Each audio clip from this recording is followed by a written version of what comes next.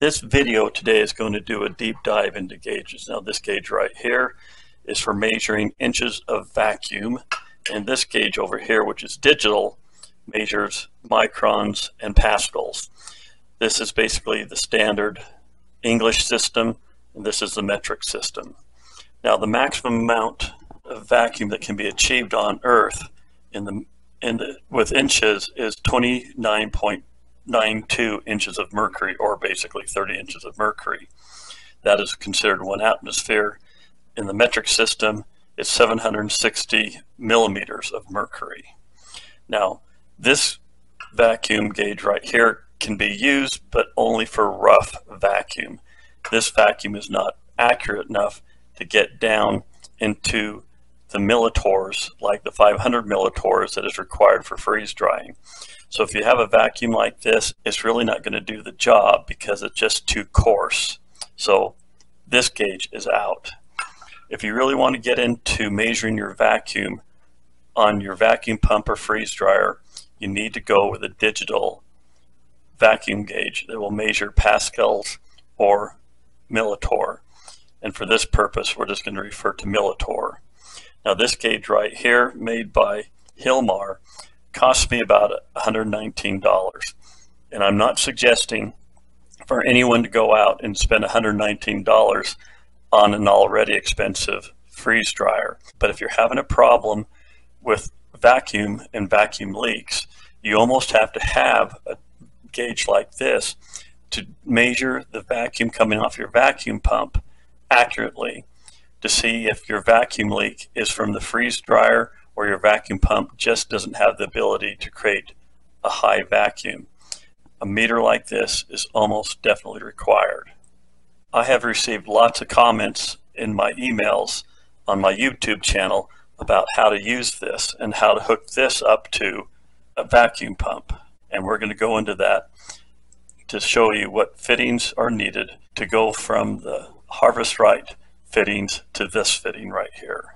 There are two fittings you're going to need to be able to hook this micron gauge onto a Harvest Right freeze dryer. There's just two parts. There's this part right here, which is an adapter, and this little part, which is a coupler. First of all, we need to explain what JIC fittings are. Now, they're primarily used in hydraulic work involving very high pressures. Now, the JIC scale is in 1 16th of an inch. So this fitting right here, which goes on the Harvest Right freeze dryer, is basically a 3 quarter inch diameter.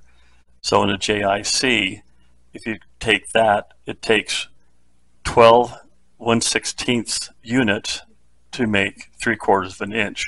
So this is a number 12. A 1 inch would be known as a number 16. So this is a number 12 on this side.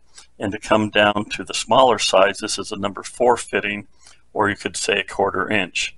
And this part right here is a number four coupler.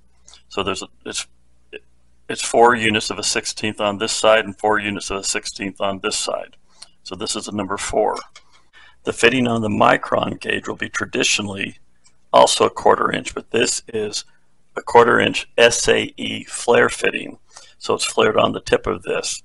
Now the flare fitting on an SAE fitting is just about the same as on the JIC fitting.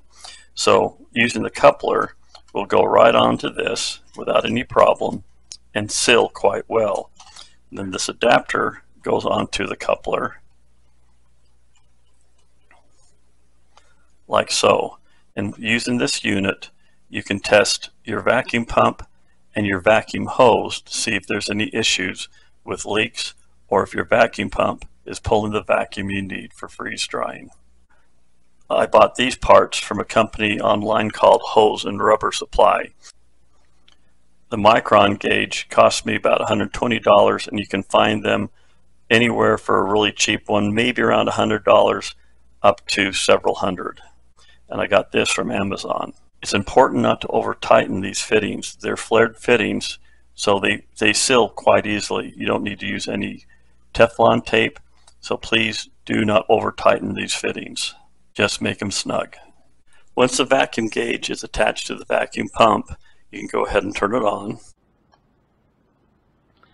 It will first display the model number and then the amount of microns or millitorrs, which is 760. Then if we turn on the vacuum pump, we can draw down the vacuum.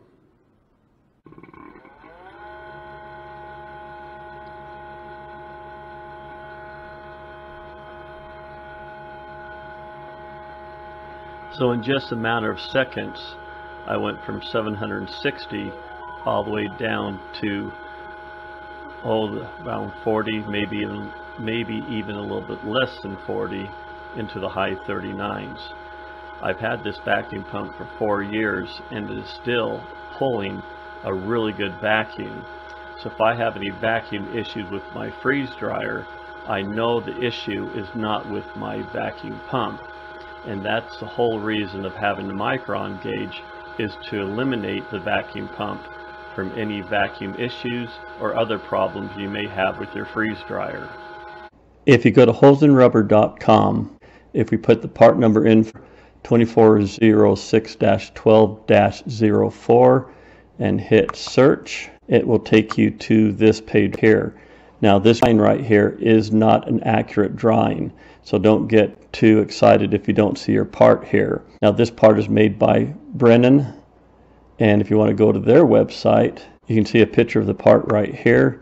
This is the number 12 fitting that is female. They'll go on to your freeze dryer. And if you swing it over, this is the number 4 male JIC. They'll go up to your adapter. Now if we bring up the picture of the adapter, same thing here, number four on that side, and this is a four on that side. So one will go from your adapter, the other one will go over to your micron gauge. Price for the adapter is $7.38. It's a little bit more than when I paid for it a while back. If you take a look at this item number, this item number is ex explained by this is a number 4 male thread JIC by a number 12 female thread JIC. If we bring up the part number for the coupler, which is 65 65 dash 04 dash 04, you'll see the part right here in this little picture, and that is a and the part number up here is a number 4 female JIC adapter by a number 4 female JIC adapter. Current price on that is $8.57. So you can either go to hoseandrubber.com to get your prices or any shop that deals with hydraulic hoses that might be near you should be able to give you the same parts. Now, if you really want to get creative, and by all means, if you're new to freeze drying, you don't need to do something like this, but if you want to keep track of your vacuum while you're running your batch, then you can do a setup like this. I have a, a stainless steel T right here going into a stainless steel nipple, going into a JIC fitting that goes onto my pump, and my hose for my Harvest Right freeze dryer comes on to this adapter right here, and then I have my micron gauge set up like this. And so with this type of a setup, I can compare my Millitorr readings here against the Millitorr readings on my Harvest Right. And this will be a little bit more accurate. The vacuum gauge that Harvest Right uses can be accurate, but it can't it can't adjust as quickly as this can. There's a little bit of lag time with the Harvest Right system. But this will let me know at any point in time what my true Millitorr readings will be on my freeze dryer. But like I said, this is really not necessary. It's just something I threw on here just to keep track of my vacuum pump. But anyway, thank you for your time. I uh, hope you enjoyed this video and maybe it answered some of your questions. Please subscribe and I'll send you a new video soon. And go forth and freeze dry the world.